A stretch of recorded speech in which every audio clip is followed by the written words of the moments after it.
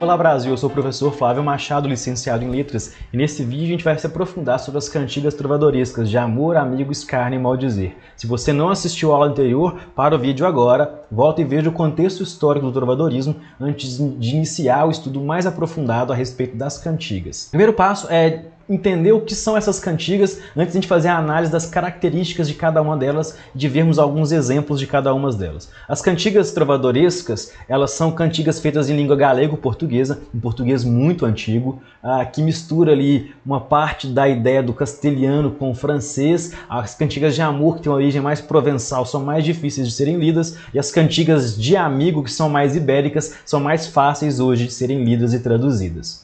Ah, é importante lembrar que quem produzia essas cantigas eram nobres, que ficaram conhecidos como trovadores, e esses nobres ah, compilavam suas cantigas em iluminuras que foram armazenadas posteriormente em cancioneiros. É importante lembrar também que outros artistas interpretavam as cantigas produzidas por nobres, poderiam ser membros da alta nobreza, inclusive, por exemplo, El Rei Dom Diniz. Esses artistas produziam na seguinte ordem de importância. O primeiro, Segrel, que era um nobre que produzia também, às vezes, as cantigas, embora não tivesse uh, tantas posses, tanto poder em relação aos membros da monarquia. Seguido, por exemplo, de um Jogral, que era um nobre de uma importância um pouco menor ainda. Depois, por fim, o Menestrel. E, por último, a soldadeira, que geralmente fazia um back vocal ali, a voz de fundo, ou repetia os refrões das cantigas. As cantigas são divididas em dois grandes grupos. Os grupos das cantigas líricas e das cantigas satírica satíricas. Nas cantigas líricas, a gente tem as cantigas de amor e de amigo. As cantigas de amor e de amigo se diferem principalmente em relação ao eu lírico. As cantigas de amigo têm eu lírico feminino e as cantigas de amor têm eu lírico masculino.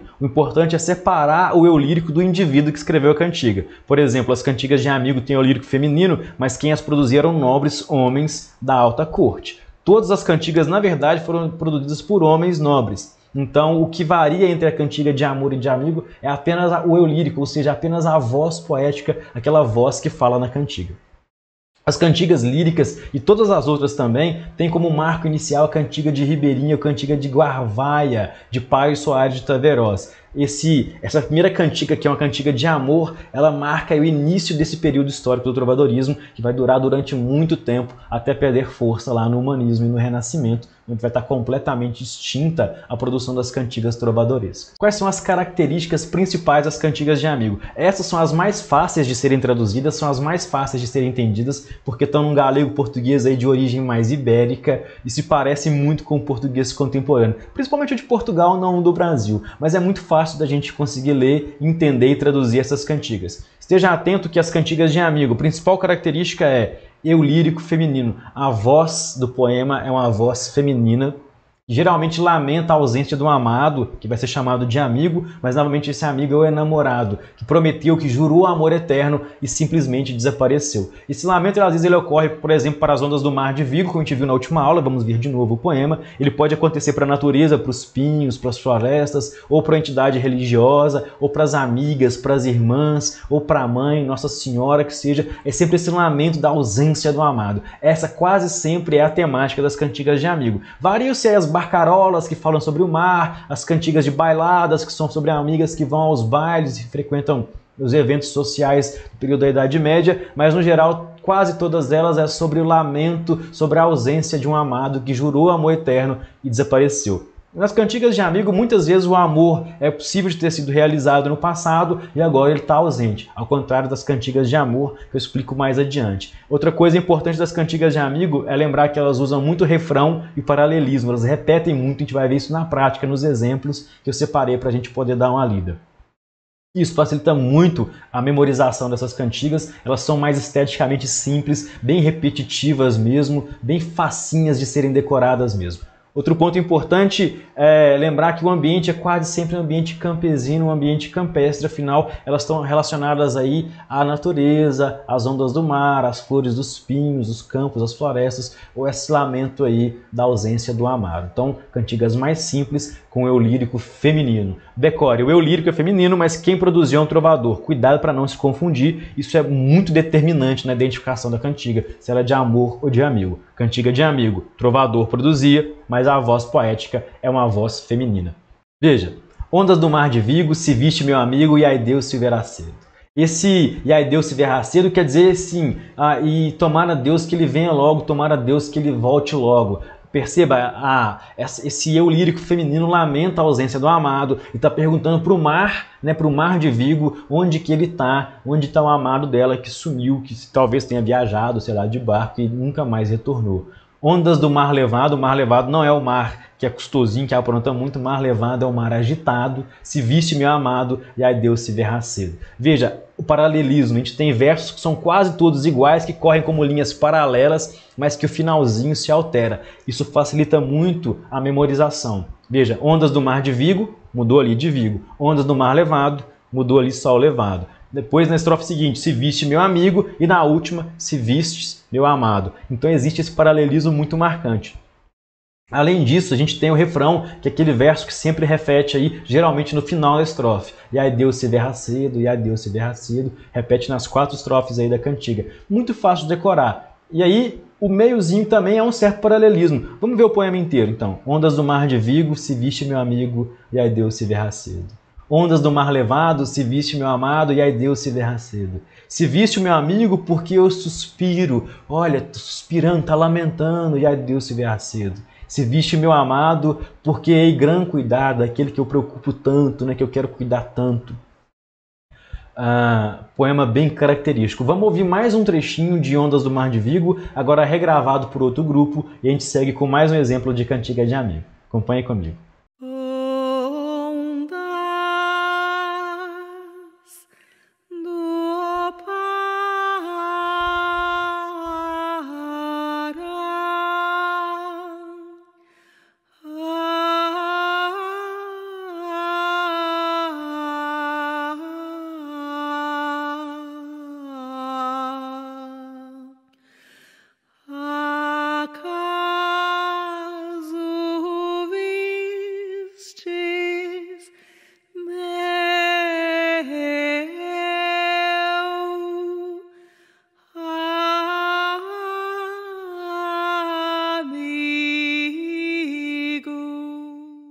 Outro exemplo que a gente pode apresentar de cantiga de amigo, que é bem marcante, é bem fácil de notar todas as características que eu comentei, é Ai Flores, Ai Flores do Verde Pinho, del Rei Dom Diniz. Veja, os mesmos traços, o mesmo tamanho, a mesma estrutura de Ondas do Mar de Vigo, de Martin Kodaks. Então as cantigas de amigo ela tem estrutura muito parecida, é fácil identificar, depois você fica habituado a essas cantigas. Veja, Ai Flores, Ai Flores do Verde Pinho, Saberes Novas do Meu Amigo e Ai Deus e o É. Veja o paralelismo. Ai flores, ai flores do verde ramo, se saberes novas do meu amado, ai Deus eu é. Esse ai Deus eu é, esse suspiro, né? E aí Deus, o que, que pega, o que, que rola? Esse suspiro aí, ele repete como refrão no final de todas as estrofes, da mesma maneira como ocorreu em Ondas do Mar de Vigo, da mesma maneira como ocorre em muitas outras cantigas de amigo. Tá? Lembrando, o eu lírico sempre feminino, lamentando aí, nesse caso agora, para os verdes pinos, uh, a ausência desse amado, a ausência desse amigo. Veja que essa ainda evolui um pouco mais, há um sofrimento ainda mais forte. Ó. Se saberes novas do meu amigo, aquele que mentiu do que pôs comigo, aquele que mentiu do que me havia prometido, aquele que mentiu na, na última estrofe, ó, aquele que mentiu do que me havia jurado. E aí, Deus, o que acontece? E agora? Eu vou passar do prazo, vou ficar para tia. Essa, esse lamento, esse sofrimento intenso aí da ausência do amado, que, que jurou amor eterno, que às vezes, inclusive, esse amor foi realizado e depois ele se, se ausenta, depois ele desaparece. Coisa muito comum, inclusive, nos dias de hoje. Vamos ouvir um trechinho também de Ai Flores, Ai Flores do Verde Pinho. E a gente segue com as cantigas de amor, também, claro, com exemplos. aquel que mentiu do que vos conmigo. Ai Deus, eu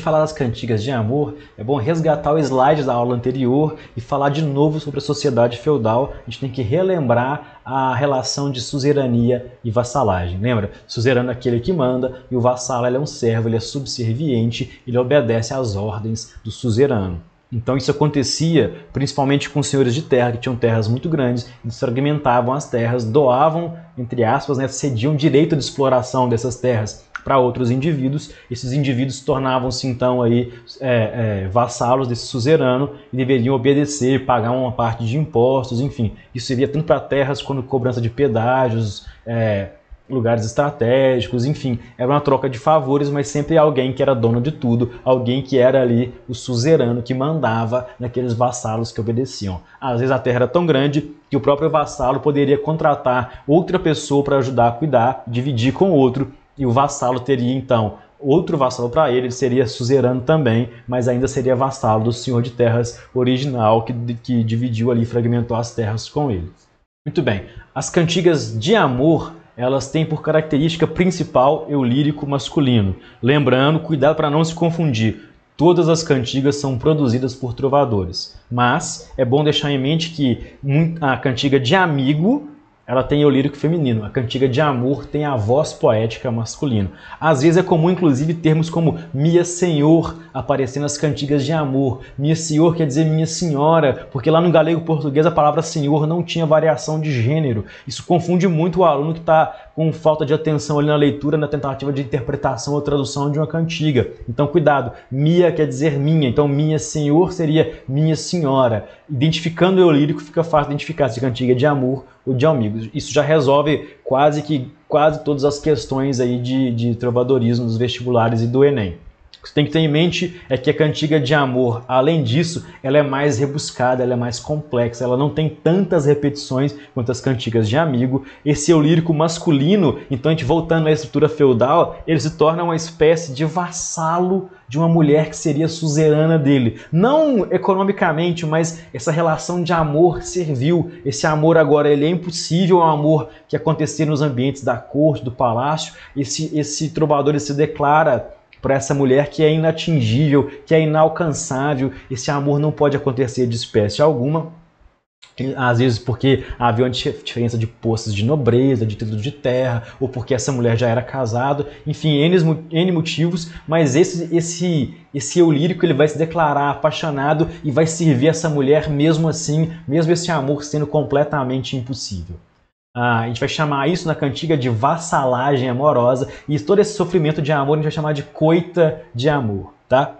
Ah, é bom lembrar que as cantigas, é bom lembrar que as cantigas de amor, elas têm origem provençal, elas estão mais voltadas para o sul da França, enquanto as de amigos são mais ibéricas. Essas de amor são mais difíceis de serem lidas e mais difíceis de serem entendidas, mas com certo esforço é possível compreender. Se você identificar o eu lírico do poema, você já resolveu praticamente toda a questão das cantigas trovadorescas. Vamos ver alguns exemplos para isso ficar bem mais claro.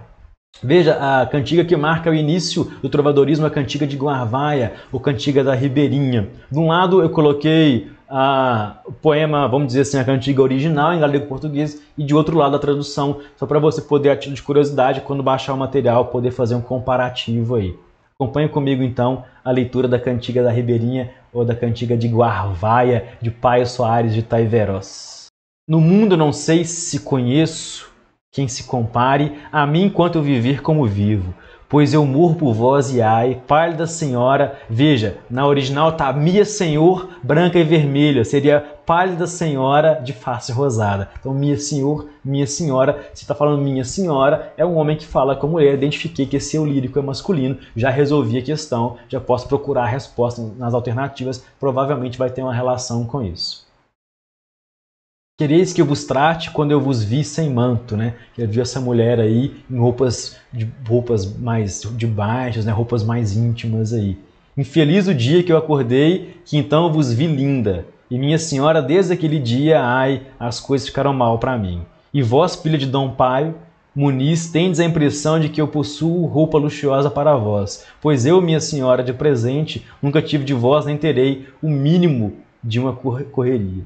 Quer dizer, ele vai ter um mínimo de presente, um mínimo de atenção. Esse amor é distante, esse amor é impossível, mas ele está apaixonado porque em maldito dia que ele viu essa senhora tão linda e ele se apaixonou por ela, que ele viu ela sem o manto e acabou se apaixonando e se encantando por ela.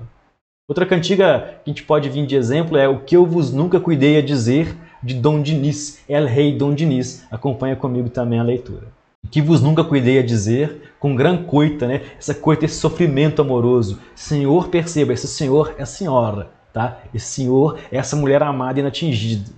Vou-lo direi, porque me vejo já por vós morrer. Olha, esse morrer por amor que vai ser tão recuperado na literatura posteriormente, começa a surgir aqui as suas origens aí, as suas raízes nas cantigas de amor, esse sofrimento tão intenso e amoroso. Cá sabedes que nunca vos falei de como me matava vosso amor esse amor que ele nunca comentou sobre ele, que é matando ele ali aos poucos. Quer sabedes bem que de outra senhor que eu não havia pavor nem quer dizer, ele não vai se apaixonar por nenhuma outra mulher a não ser esta. Depois você pode baixar o material e tentar aí fazer a tradução da cantiga inteira. Vamos ouvir um trechinho dessa cantiga, depois a gente continua com a aula com as cantigas de escárnio e maldizer.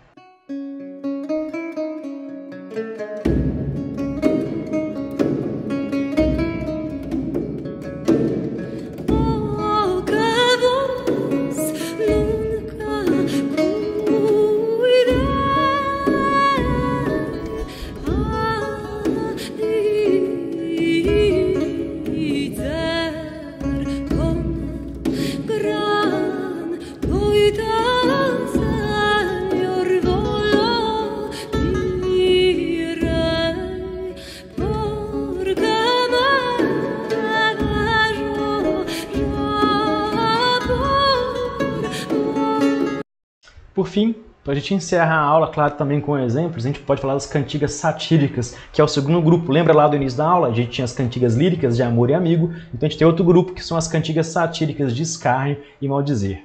São cantigas que servem para ofender, diretamente ou indiretamente, usam de linguagem mais chula, de palavrões, de ambiguidades aí, para atingir alguém com algum objetivo específico. As cantigas satíricas fica fácil classificá-las porque e identificá-las também, inclusive pelo teor do conteúdo. O que separa as cantigas de escárnio e maldizer, essencialmente as cantigas de maldizer vão dizer o nome de alguém e esse alguém vai ser literalmente maldito e nomeado. Ele vai ser identificado ah, nessa, nessa cantiga, ele vai ser citado nominalmente, vai aparecer de quem se trata. E a cantiga de escárnio, ela jamais na indireta, o nome da pessoa que é, que é escarneada, que é criticada, não aparece, ela mais vai jogando na ambiguidade, ali ela dá a entender só quem que é, o nome não é jamais registrado. Isso que difere uma cantiga de escárnio, basicamente, de uma cantiga de maldizer, que cita um nome que vai maldizer literalmente alguém com o registro ali, com o nome citado no poema.